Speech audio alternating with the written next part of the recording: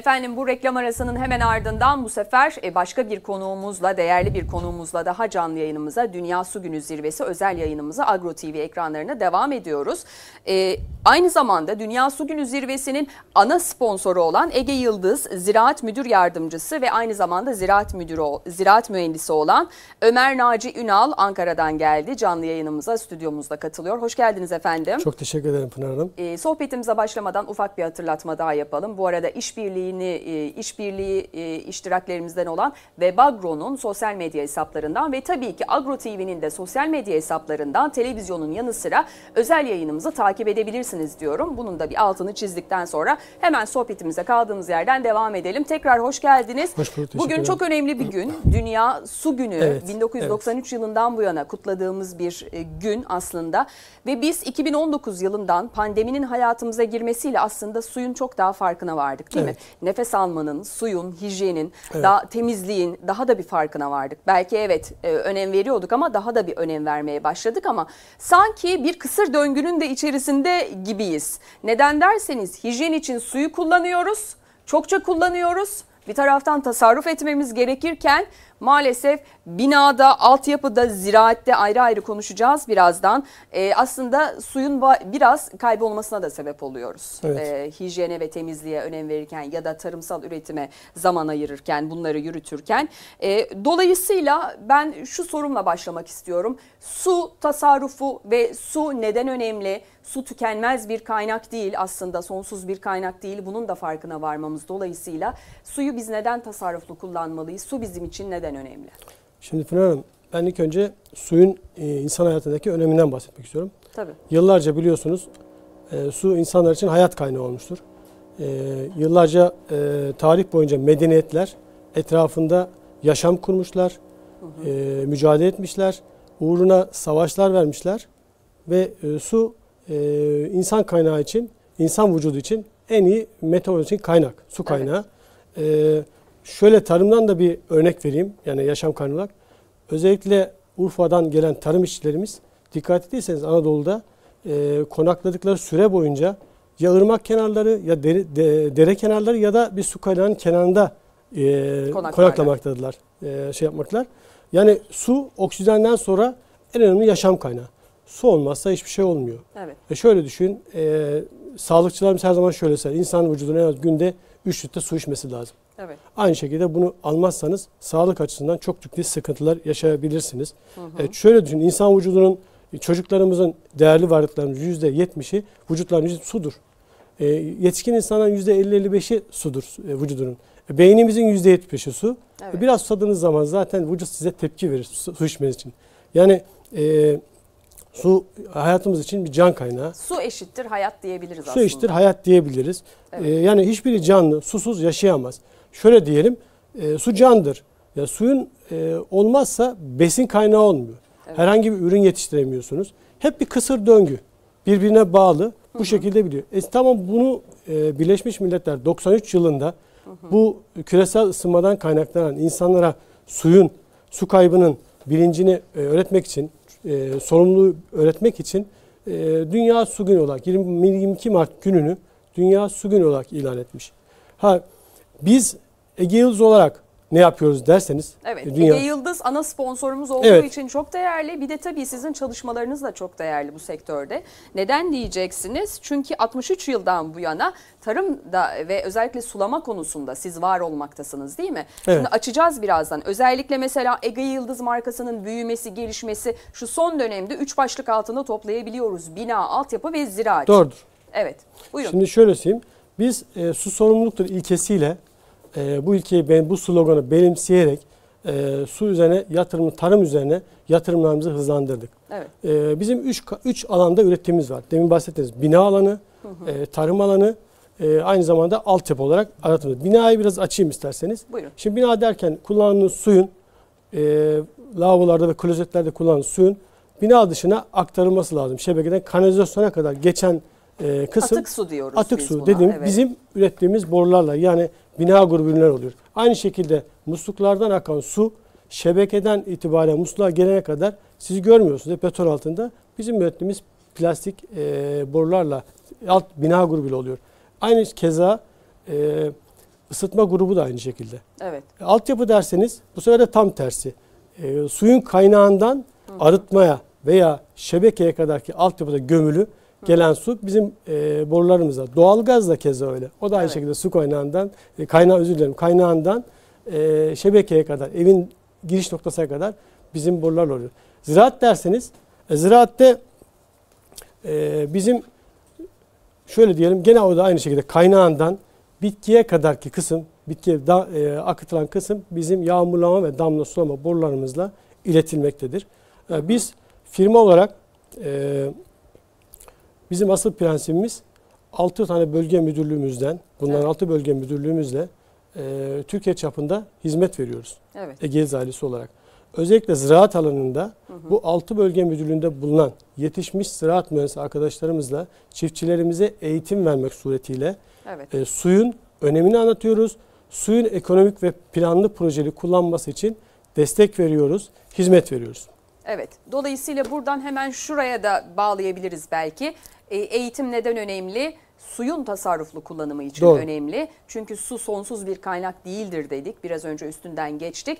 Yağmurlama ve damlama sulama yöntemlerine mesela atıf yapıyoruz ya konuşurken. Evet. Geleneksel ve vahşi sulamadan tarımsal manada artık çıkılması gerektiğini konuşurken bir taraftan bu yöntemlere de başvurulması önemli diyoruz. Siz de bu konuda çalışmalarınızı bilinçlenme, eğitim ve farkındalık konusunda devam ettiriyorsunuz. Peki nedir yağmurlama ve damlama sulama dediğimiz ve çokça üstünden geçtiğimiz bu yöntemler ne ifade ediyor? Şimdi yağmurlama, damlama dediğiniz şey sonuçta bitkide bir canlı. Sizin benim gibi canlı. Onun belli bir su yetişme süresi var. Bu yetişme sürelerinde belli miktarda su veriyorsunuz. Şimdi her bitkinin kendine ait bir su isteği var dönemlere göre. Şimdi siz bu yağmurlama ve drenajlama, drenaj sistemi, pardon, e, damla sulama yöntemiyle e, bitkinin ihtiyacı kadar suyu Evet. e, ke- bitkiye veriyorsunuz. Bunu plan ve proje dediğimiz o işte. Ziraat mühendisi arkadaşlar bunu yaparak e, bir yetiştirdiğiniz bitki desenine göre ne kadar su vermeniz gerektiğini, ne kadar su vereceğinizi bunları hep hesaplarla yapıyoruz. Yaptığımız iş şeyimiz bu. Evet.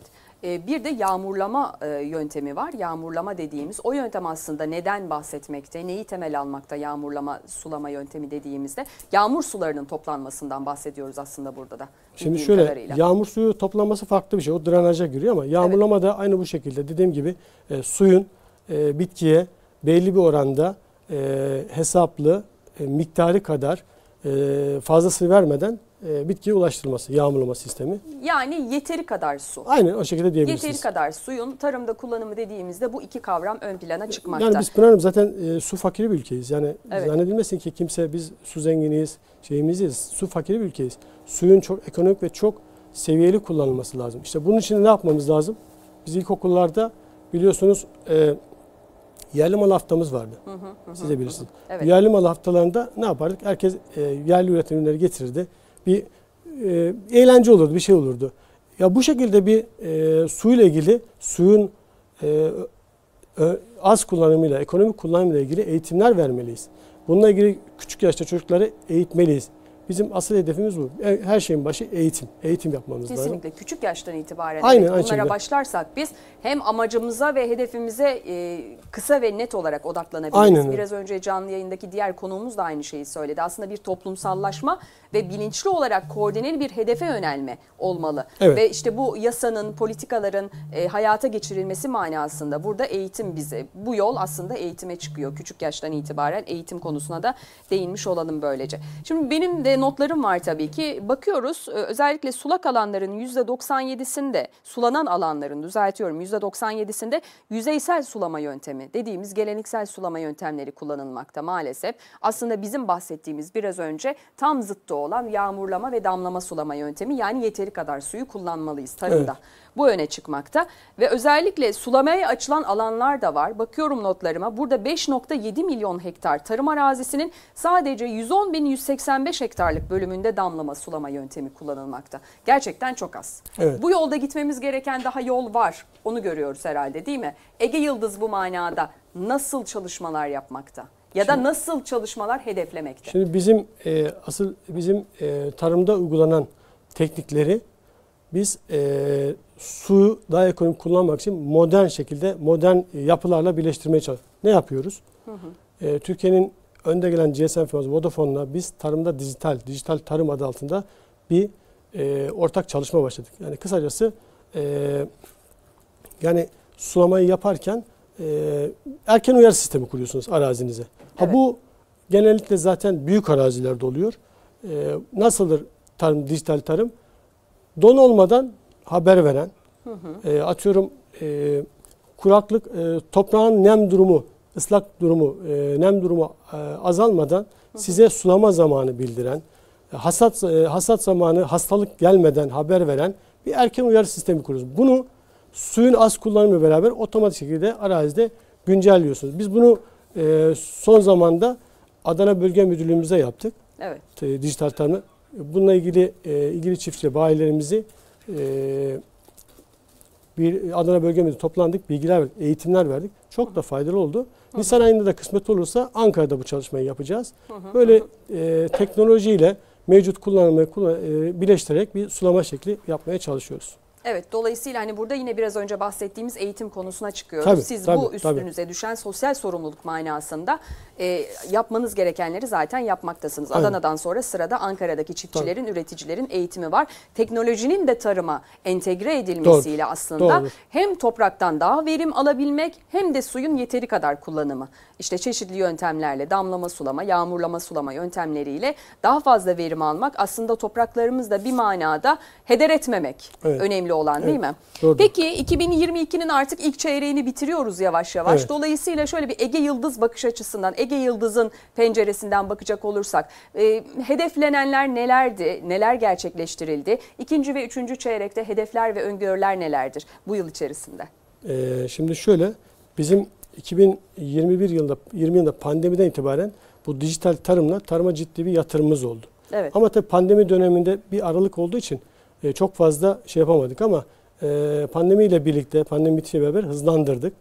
Özellikle dediğimiz gibi e, eko, eko, tekno, teknik tarımın, teknolojik tarımın e, tarımla birleştirmesiyle beraber uygulamaya başladık. E, bu yüzden ta- yatırımlarımızı tarıma yönlendirdik Evet. damlamada, yağmurlamada özellikle bit, çiftçilerimize eğitimler vermek suretiyle hem suyun ekonomik e, kullanımını e, öngörüyoruz. Bunu eğitimle yapıyoruz. Ondan sonra da projelendirme yaparak bitkiye ve çiftçiye e, nasıl bir su- sulama yapacağımızı, yağmurlamanın ne demek olduğunu, damlamanın ne demek olduğunu, nasıl su vereceğinizi, ne amaçla yapıldığını bunlarla ilgili bilgiler veriyoruz. E, yatırımlarımızı özellikle tarım alanında daha da arttıracağız. Çünkü gıda biliyorsunuz pandemi döneminde gıda tedariki çok önemli bir e, şey varlık altına geldi. Yani artık Evet. herkesin, her ülkenin kendi ülkesini, vatandaşını doyurması lazım, üretmesi lazım. Üretmeniz için de su lazım. E, suyu kaz, kazanmanız için de e, su kaynaklarınızı çok ekonomik kullanmanız lazım. Evet. Ha, bu konuda şunu da söylemek istiyorum. Biliyorsunuz Sayın Tarım Bakanımız e, yeni değişti. Evet. Sayın Vahit Kirişçi, e, ben e, 22-23 dönem e, milletvekili olması lazım. Adana öyle biliyorum. Ben kendisini yakından takip ediyorum. Çok düzgün e, açıklamaları vardı. E, milletvekili olma zamanında da basında çok açıklamalar yaptı. Ben meslektaşımız bu konuda e, çok isabetli karar olduğunu düşünüyorum. E, ben e, memleketim için çok daha iyi olacağını düşünmekteyim. Evet. Yeni bir bakan, yeni bir e, Ye- Yeni işi, tarımsal işi çok zor ama ben başlayacağına canı miyiz? gönülden inanıyorum. Evet, yeni bir tarımsal bakış açısı, sulama Evet, tabii. manasında hepsini kapsayıcı bir bakış açısına da ihtiyaç var herhalde değil mi? Tabii Türkiye ya- açısından. yani şunu da söylemek istiyorum. Biz özel sektörüz. Biz 9 ay sahalardayız. Çiftçiyi görüyoruz. Halini görüyoruz. Yani biz özel sektör olarak kamuyla bilgilerimizi paylaşmak istiyoruz. Yani tarımın biz bir Hollanda'yı düşünün. Konya kadar memleket. Evet. Ama ya bizden çok daha iyi tarım e, ihracatı yapabilir. Biz de onun gibi olamıyoruz ki. Üzülüyorum ben kendi adıma. Evet. Yani onun için ben bilgilerimi yani buradan söylüyorum. Elimden geldiğince e, Tarım Bakanlığı'na bir proje yaparak paylaşmak istiyoruz. Evet, burada e, aslında işbirliğinden, e, işbirliği konusuna çıkıyoruz Tabii, bu yoldan tabii, da. tabii, tabii. E, dolayısıyla hani bakanlıkla yapılması gereken, siz e, sosyal sorumluluk manasında evet üstünüze düşen görevi yapmaktasınız. Ya ben diyorum ya şirketim adına. Evet doğru. Çünkü Evet. şöyle söyleyeyim çok özür dilerim. Yani bizim gibi sahada olan çok insan var. Herkesin küçük bir fikri belki çok daha kişiye fayda sağlayacak. Ben bunun olmasını istiyorum. Evet bir güç birliğine ihtiyaç Tabii. var ve tabii ki e, işbirliği derken e, mesela yasa koyucularla yani yasa koyucuyla beraber politikaların değişmesi manasında işbirliği, eğitim, farkındalık konusunda da yine işbirliklerine açık olduğunuzu Ege Yıldız olarak Ya tabii şimdi söylemektesiniz. Yasanın size dönüşü nedir bilmiyoruz. Yani sahadaki nasıl bir uygulama var onu bilmiyoruz ki. Onu biz biliyoruz. Yani görüyoruz Evet. nasıl bir tepki var. Onu gör bunları açıklayalım. Herkes kendi fikrini söylesin diyorum.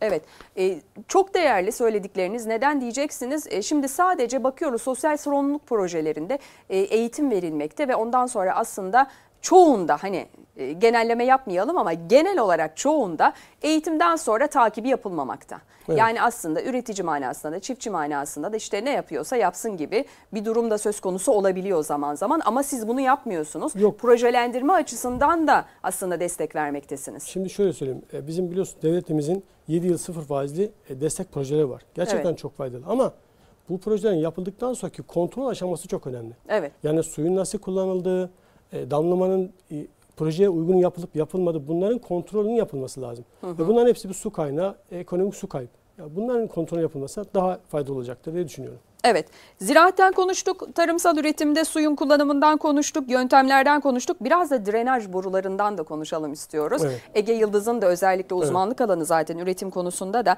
hem yeraltı hem de yerüstü zararlı sularının ıslahında önemli bir aslında kavram bu drenaj boruları. Evet. Biraz, bize biraz bu konuda da bilgi vermenizi isteyeceğiz. Tabii onda da veririm. Ee, şimdi şöyle, e, tarımda ve inşaatta kullanılıyor. Son 10 yıldır özellikle inşaatta çok ciddi anlamda kullanılmaya başladı. Çünkü neden? Artık mimariler yükselmeye, yani büyümeye başladı. Büyümeye başlayınca artık otoparklar ihtiyaç doğdu. İhtiyaç olunca da e, iki kat, üç kat aşağılar iniliyor. E, taban suyu yüksek. Taban suyu olduğu için e, bu betona ve şeyde demirde korozyona sebep oluyor. Evet. Bunun araziden e, belli bir seviyede tutulması lazım ve araziden uzaklaştırılması, bulunduğu bölge uzaklaştırılması lazım. Tarımda derseniz o da aynı şekilde e, suyun belli bir seviyede tutulmazsa su kök bölgesinde e, yağmurlamayla veya e, yağışlarla biriken oluşan taban suyu zamanla yükleşiyor, yükseliyor. Evet. Yükseldiği zaman bitkinin kök bölgesine kadar geliyor. Ve dolayısıyla bitki hava alamadığı için e, veriminde düşük oluyor. E, Bir takım hastalıklar oluyor, topraktadır. E, hani, e, şeyle ilgili to- toprakta ço- çoraklaşma oluyor, uzun süre tuzlaşma oluyor. Yani geri dönüşü çok zor. Bir takım sıkıntılar oluyor. Tizekim yani Türkiye'de yaklaşık e, en büyük şey e, Konya Ovası'ndadır. Evet, E, orada ciddi bir çoraklaşma var, e, drenaj problemi var. evet. E, bunun işte dediğim önlemine geçmesi lazım. Bir süre sonra bu sular zararlı hale gelince işte o zaman tarımsal verimden de konuşamıyoruz. Aynen öyle. Bitkilerin ve işte bize verim sağlayacak olan sebzeden meyveden de bahsedemiyoruz doğal olarak. Çünkü kayıp Aynen e, olarak karşımıza çıkmakta. Bu manada drenaj boruları önemli diyoruz. Yavaş yavaş e, son iki dakikamıza gelmekteyiz. Daha sonra reklama gideceğiz. Dolayısıyla ben 2022'nin ilk çeyreğinden bahsettik. Hedeflerinizden bahsettik. 2023'ten de biraz hedeflerden, öngörülerden bahsetmek isteriz. İhracattan e, bahsetmek isteriz. Ege Yıldız'ın hedeflerinden bahsetmek isteriz üretim konusunda ve kapasite konusunda. Sizin odaklandığınız 2023 yılında Cumhuriyetimizin de 100. yılına gireceğiz 2023'te. Nedir Ege Yıldız'ın hedefleri bu manada? Tarımın ön plana çıktığını söyledik 2022'de. 2023'te bu da devam edecek gibi Şimdi gözüküyor. Fırman, biz 63 yıllık bir firmayız. Evet. 63 yıldır e, tarıma hizmet ettik. Bugün her ülke, memleketin neresine giderseniz herkesin elinde, her çiftçinin elinde bir Ege ürünü bulunmakta. Ege bilmeyen yoktur. Evet. Biz 2023 hedefleri olarak tarıma her geçen gün biraz daha e, yatırım yapacağız. E, bunun için e, değişik yatırım planlarımız var. Ama tabii ekonomik şartlar e, ileride bir sene ne getirir onu bilemeyiz. E, biraz da gizli, çok gizli bilgiler soruyorsunuz bana. Biraz tüyo istiyoruz sizden canlı yayında. Evet. E, bilgileri, yatırımlar var. Yatırımlarımız hızla devam ediyor hala şekilde. İhracat derseniz özellikle bizim e, Türk, e, Türkiye Cumhuriyetlerine, e, Güney Afrika Cumhuriyetlerine, Orta Doğu e, ülkelerine ce- ciddi ihracatlarımız var. Evet. E, geçen sene 10 milyon dolar civarında biliyorum. Yanlış bilmiyorum çünkü ihraç bizim birimi bizden ayrı. Hepsi çok çalışkan, çok başarılı insanlar. Müdürümüz de öyle şekilde. Evet. E, bu seneki hedefimiz de 20 milyon dolar civarında biliyorum yanlış bilmiyorsam. Evet. İnşallah onu da yakalayacağız. Bizim yönetim kurulu başkanımız Sayın Kemal Zorlu zaten ihracat konusunda e, çok ciddi destek vermekte. Hı Ve hı. e, bunu da başaracağız inşallah. Evet yani yerli bir marka olması dolayısıyla sizin de söylediğiniz gibi Ege Yıldız'ın aslında kullanılmadığı alan yok. 63 yıldan bu yana sektörde var olan markalaşmış önemli bir marka, önemli bir kavram aslında Ege Yıldız kavramı, Ege Yıldız markası. Dolayısıyla bilmeyen yok. Ee, ama tabii burada e, sizin son dönemde pandemiyle beraber tarımsal manada bilinçlenme, farkındalık, eğitim konusunda ve ihracata odaklanma konusunda yapmış olduğunuz sosyal sorumluluk projeleri de çok çok değerli. Biz de e, aslında her markaya örnek Evet, olması evet, gerektiğini evet, de evet. söyleyerek dilerseniz e, bu bölümümüzü noktalayalım ve son bir e, mesaj alarak kapatalım bu bölümü. Yani şöyle diyeyim, e, bizim için asıl önemli olan eğitim. Eğitim olmadan hiçbir şey olmuyor. Bu da küçük yaşta başlıyor. Suyun kullanımı dahil. Biz 63 yıldır e, ziraat önem üreten bir firma hiç ara vermedik. Ve e, bu kadar uzun süre üretim yapan %100 yerli tek firmayız Evet. diyebilirim. E, bu konudan da firmam adına gurur duyuyorum. E, bundan sonra da daha da devam edecektir diye düşünüyorum. Yerli bir markanın Türkiye'yi global manada temsil etmesi tabii ki bizim de göğsümüzü kabartıyor. Biz de başarılarınızın devamını Çok diliyoruz. teşekkür- çok teşekkür 63 yıldan bu yana sektörde var olan Ege Yıldız e, markasının e, ziraat müdür yardımcısı, aynı zamanda Dünya Su Günü zirvesinin ana sponsoru olan Ege Yıldız'ın ziraat müdür yardımcısı ve ziraat mühendisi Ömer Naci Ünal canlı yayında konuğumuzdu. Bu özel yayınla karşınızda olduk efendim.